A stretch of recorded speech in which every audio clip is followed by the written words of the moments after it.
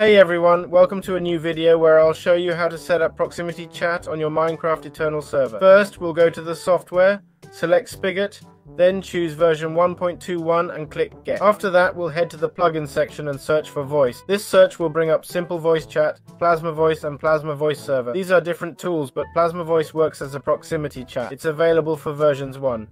16.4 to 1.21. Just click Get to download it. Once you have it, tick it, go to servers, hit start, and you're all set. That's all there is to it. Hope you found this helpful. See you in future video.